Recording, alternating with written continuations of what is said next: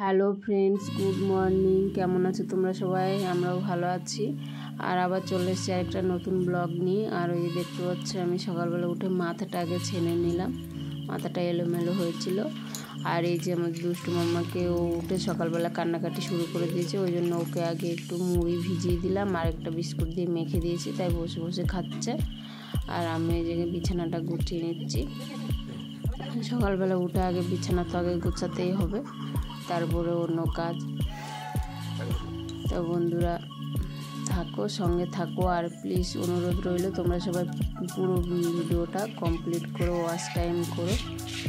সবাই watch time করে পাশে থেকো সাপোর্ট করো। তোমাদের সাপোর্ট ছাড়া তো আমরা এগোতে পারব না, সেটা নিশ্চয়ই তোমরা জানো।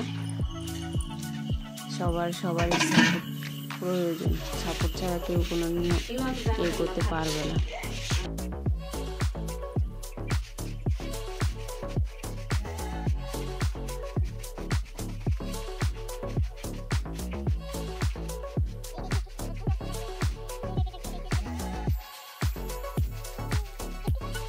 আর এখানে যে ভিজে জামা কাপড়গুলো ছিল, তাই মেলে দিয়েছিলাম।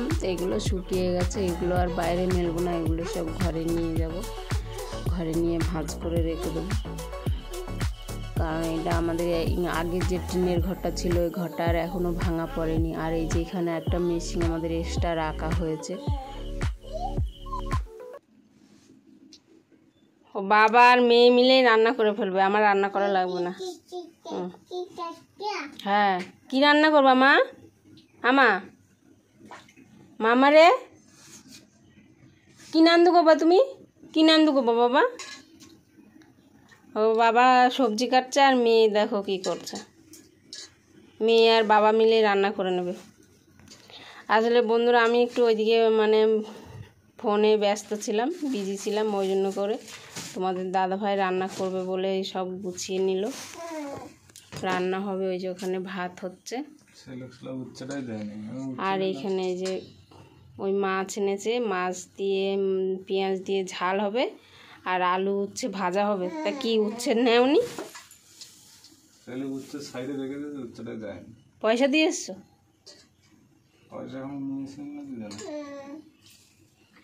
তা মাপা হয়ে গেছিল? তাহলে তো সে পয়সা নিয়েছে। তাহলে কিরম সবজি কিনতে কি নিতে গেছো? কি দিয়েছে না দিয়েছে তুমি দেখলে ভেন্ডি কিছু দেবা? ভেন্ডি দিতে হবে না। ভালো লাগবে না। ভালো লাগে কি না লাগে তাহলে মেয়ে আর বাবা মিলে রান্না করে নিলে আমার তো আর রান্না করা লাগবে না। করা লাগবে? বল এটা ধুয়ে নিয়ে আসতে।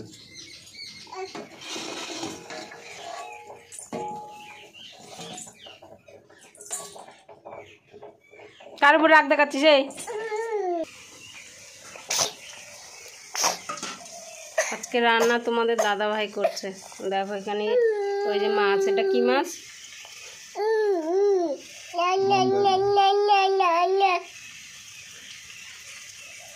এইখানে জিরার গুঁড়ি আর ধনের গুঁড়ি আছে। তাহলে সব কিছু দিয়ে এখানে মাছগুলো মেখে নেবে। আর এই যে এখানে আলু ভেন্ডি ভাজা হবে। ভাজা হচ্ছে আর ওই মাছের আর কি ঝালটা তৈরি হবে ওই মাছটা হচ্ছে আয়লা মাছ। আয়লা মাছের তরকারি। এই যে এটা রান্না করবে তোমাদের দাদাভাই আজকে রান্না করবে। আসলে তোমাদের দাদাভাই একটা রান্নার চ্যানেল খুলেছে, ওই জন্য করে ওই রান্নাটা আজকে ও ভিডিও করছে। ওই যে ওখানে ক্যামেরা দিয়ে স্ট্যান্ড দিয়ে বসানো রয়েছে। ওই জন্য করে তোমাদের দাদাভাই রান্না করছে। আর এই যে এখানে আলু, ভেন্ডি ভাজা। এই তোমাদের দাদাভাই রান্না কমপ্লিট। তরকারি হয়ে গেছে, এই যে এখানে ভাজা হয়ে গেছে। তো বন্ধুরা দেখলে তোমাদের দাদাভাই রান্না হয়ে গেছে, এবারে খাওয়া দাওয়া করে নিই চলে আসো, তোমরাও সবাই দেখি তোমাদের দাদাভাই কেমন তরকারি রান্না করেছে। ভালো তো অবশ্যই হবে, কারণ তোমার দাদাভাই তো একেবারে খারাপ রান্না করে না। তো চলো বন্ধুরা, খাওয়া দাওয়া করে তারপর আবার পরে আসছি। আর এই যে এখানে দেখো আমি মাথায় উকুন মরা শ্যাম্পু দিয়ে নিচ্ছি, কারণ আগে থেকে না দিয়ে নিলে সঙ্গে সঙ্গে দিলে উকুনটা মরে না, ওই জন্য করে অল্প একটুখানি ছিল। তো এর আগেও মেখেছি দু, তিনবার, ওই জন্য করে এখন অল্প ছিল, তাই মেখে নিচ্ছি। আর এই যে এখানে দেখো আতপ চাল ভিজিয়ে নিচ্ছি, কারণ তোমার দাদাভাই সে কবে থেকে বলছে পিঠে খাবে, সেই বাপের বাড়ি থেকে এসেছি পর্যন্ত নারকেল নিয়ে এনেছি সেখান থেকে দেখে সমানে বলে পিঠে বানাও, খাব। খেতে ইচ্ছে করছে। তাই ওই যে ওখানে চালটা ধুয়ে আর পাঁচ মিনিট ভিজিয়ে রাখব। ভিজিয়ে রাখার পরে জল ঝরিয়ে রেখে দেবো। তারপরে ওই যে মিক্সিতে চলে এলাম। মিক্সিতে এবার চাল গুঁড়োটা করে নিচ্ছে।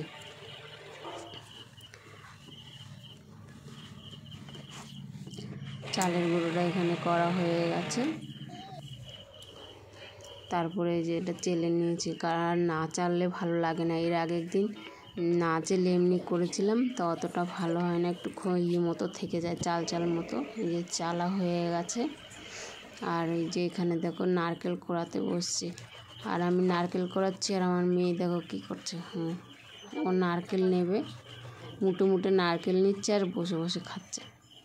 ওর বাবাকে বলছি, সরি, সরাতে? তা সে সরাবে না। আর মেয়ে ওখান থেকে উঠে যাবে না। মেয়ে দেখো কি কান্না করছে এক মুঠ নিয়েছি এক মুঠ এক মুঠ খায় না। নেন।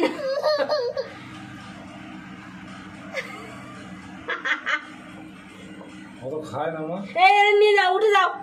এই নিয়ে সরে যাও।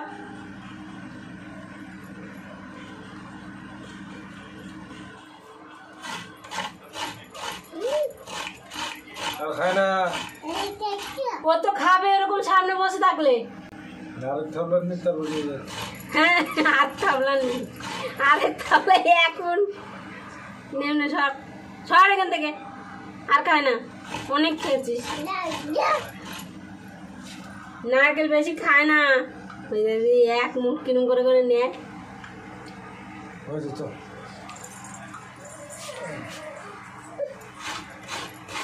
এই যে এখানে নারকেলের পুরো রেডি এবার চালের চালের গুঁড়ো এখানে করা হয়েছে। এগুলো এবার পুর বানিয়ে নেব। আর এই যে চালের গুঁড়োর পুরটাও তৈরি হয়ে গেছে। এবার এই পুরটাকে ভালো করে মেখে ডো বানিয়ে নেব। আর এই আমার নারকেলের পুর রেডি, চালের পুর রেডি চালের গুঁড়ো। এখন ওই যে মানে দলা পাকিয়ে আর ওটার মধ্যে ওই নারকেলের পুরটা দিয়ে দেবো। দিয়ে আর ভাপিয়ে নেব আর কি। হয়ে যাবে ভাপা পিঠে। ওটা করতে বেশি টাইম লাগে না, হয়ে যায়। ওই জন্য করে এই পিঠেটাই সহজে বানাই।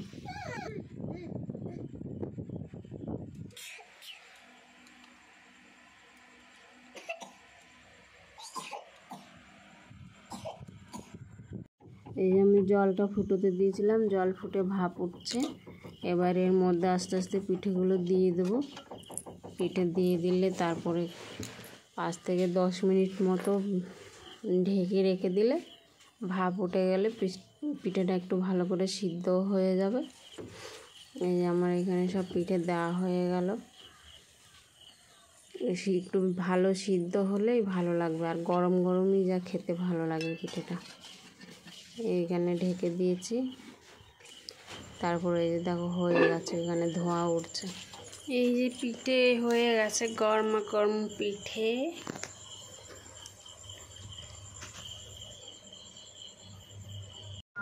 গরম গরম খেয়ে নাও।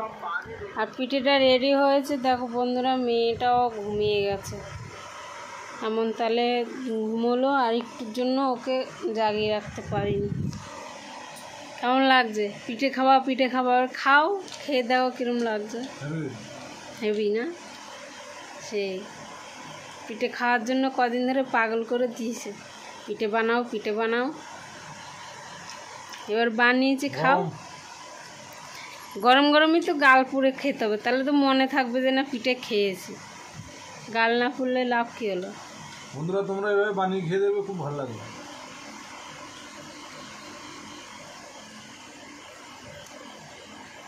ভালো লাগছে?